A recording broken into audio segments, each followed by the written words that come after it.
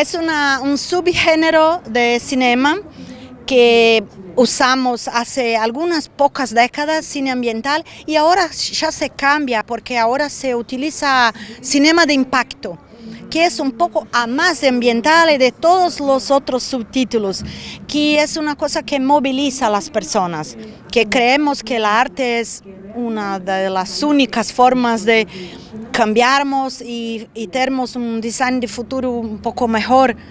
Entonces, que es cinema de impacto. Y por cierto, que es de una suma importancia, pero también lancé un libro acá que habla de angustia y esperanza, porque estas, estas film, film, eh, películas, la mayoría que son de denuncias, nos dejan un poco angustiados. Cuando acabamos de ver, oh, ¿qué hacer? Puede ser que no tenga más nada a hacer, ¿qué? Ma, pero la arte es capaz de transformar. Y ojalá los cineastas consigan a través de la ficción nos traer una esperanza para diseñarnos un futuro mucho mejor.